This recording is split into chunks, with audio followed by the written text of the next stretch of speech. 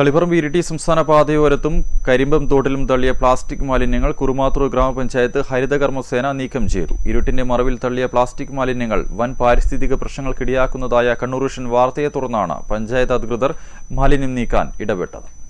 കില തളിപ്പറമ്പ് ക്യാമ്പസിനും വെള്ളാരംപാറക്കുമിടയിൽ കുറുമാത്തൂർ ഗ്രാമപഞ്ചായത്ത് പരിധിയിൽ പാതയോരത്തും തോട്ടിലുമാണ് വ്യാപകമായി മാലിന്യങ്ങൾ തള്ളിയിരുന്നത്.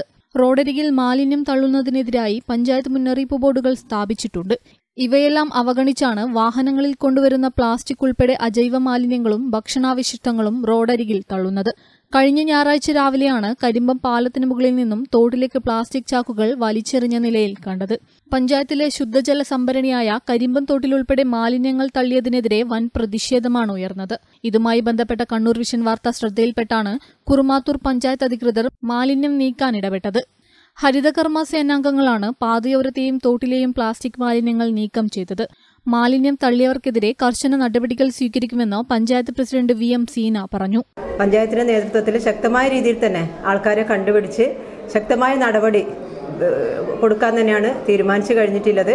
തുടർന്ന് ഇങ്ങനെയുള്ള കാര്യങ്ങൾ ശ്രദ്ധയിൽപ്പെട്ടാൽ പഞ്ചായത്ത് വളരെയധികം വാർഡ് തലത്തിലടക്കം അതിനുള്ള കമ്മിറ്റികൾ രൂപീകരിച്ചുകൊണ്ട് അതിന് വേണ്ടുന്ന നടപടികൾ സ്വീകരിക്കേണ്ട രീതിയിലേക്കുള്ള പ്രവർത്തനങ്ങളാണ് ഇപ്പോൾ നടപ്പിലാക്കി വരുന്നത്. News bureau Taliparamba.